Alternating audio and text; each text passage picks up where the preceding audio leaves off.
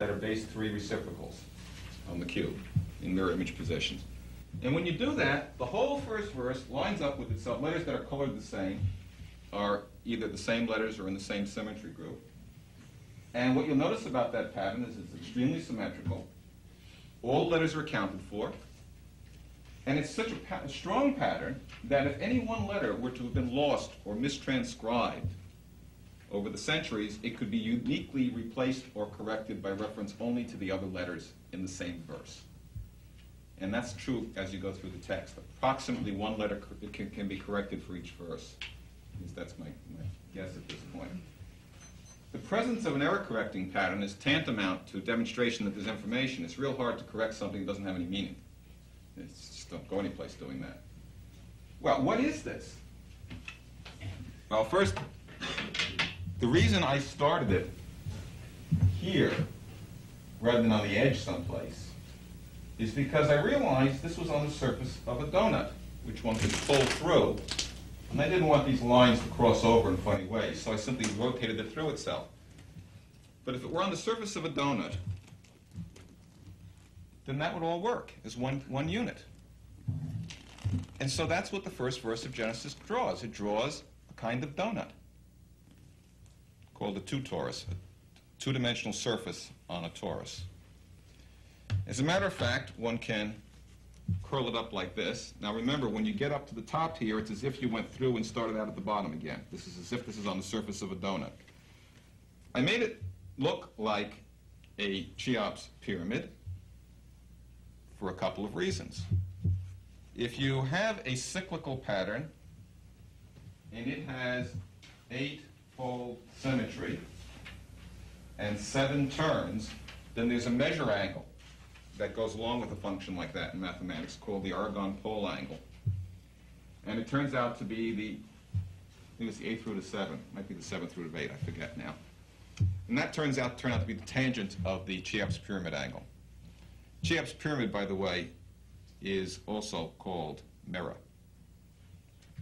And before the Muslims took the casing stones off to build the Mosque of Cairo about seven or eight hundred years ago, there were supposed to have been seven colored bands with writing painted on them on the side of the pyramid. No one knows what that looked like. But that's kind of suspicious. Now there's seven seven bands there, and that's kind of interesting because seven's a real important number in the religious world, but in the mathematical world it's important too. Donuts intrinsically have seven colored regions on them.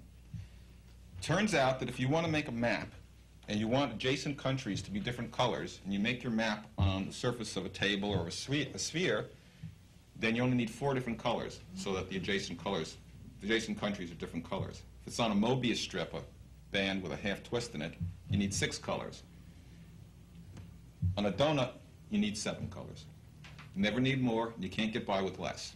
And they're always on the same three-turn spiral. And we can go into some more detail on that maybe uh, that later if we have a chance.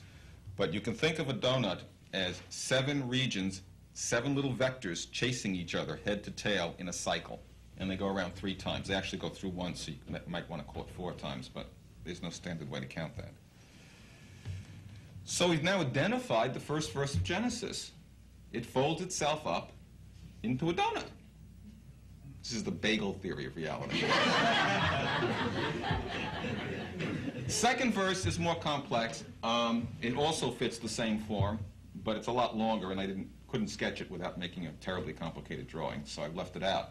But in case you're wondering, third verse does the same thing.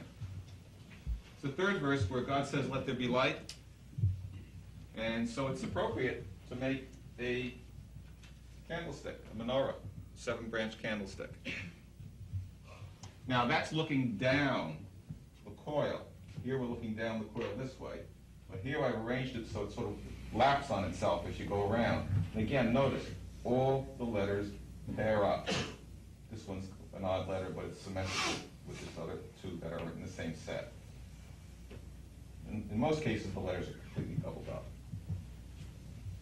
And I have looked further into the text. The patterns get complicated very quickly, but there is evidence of that this kind of coding continues also. But this isn't the really, this isn't the, the, the densest pattern I could make. And why do I want a denser pattern? Well, let's go back and get a little context here. We're told that Hebrew, according to the Hebrew tradition, was a universal language before the Tower of Babel, that somehow there was an understanding of it that was universal. If you're going to do something that's universal, you have to pick the unique case in every instance. If there's more than one way, one way to do something, then it's not going to be universal unless there's a clear choice. The choice that Mother Nature makes, that we've observed in doing our science, is to take the most compact, the most elegant, the lowest order. It's called Occam's razor. The idea is you don't want to make a more complicated theory than you need to. And Mother Nature doesn't do that either. Nothing is wasted. This pattern um, has a lot of missing places where there aren't any letters. In other words, if it's eight, if it's eightfold symmetry, eight poles and seven turns, there could be 56 letters on there, 56 beads. I'm only using 28 beads, so I'm only using half the spaces. And even though this is sort of three-dimensional now, it's really still on a surface. It's still kind of a flattish thing. And we live in a three-dimensional reality.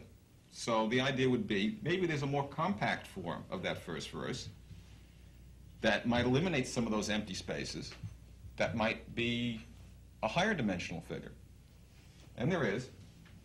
Let's see if I can find it. Put it here somewhere. There it is up on top. Here it is over here. If you were to arrange the first verse on a cube with a vortex on each face of the cube, actually, just follow it around, letters are all, it actually starts here and comes up this way. You'd find that opposite vortexes are mirror images of each other. Now, there are still four spaces that are empty. That simply implies, if this is going to hold up, that this is really a higher dimensional object, and we're just still looking at if this is the three-dimensional form. Maybe there's a four-dimensional form which drops out those last four spaces. How many letters in that first verse? 28 letters in the first verse, 27 followed by the 27th letter. Well, that means that that first verse folds up into this object. This is supposed to be a representation of that. There's more than one way one can assemble it. In fact, it turns out this is a also a donut. It doesn't look like a donut. Let me show you why it's a donut.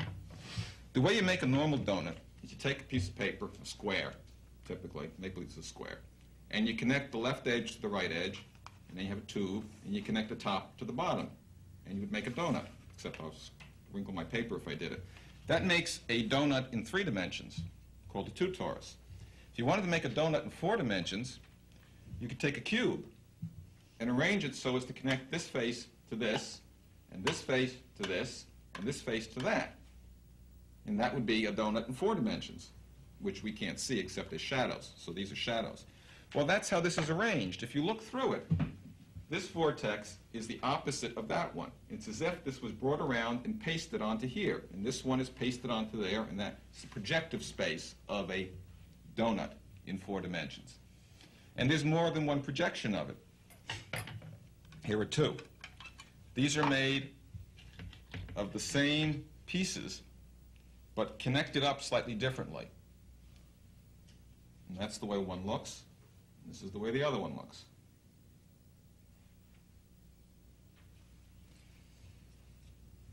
Put that back in holder.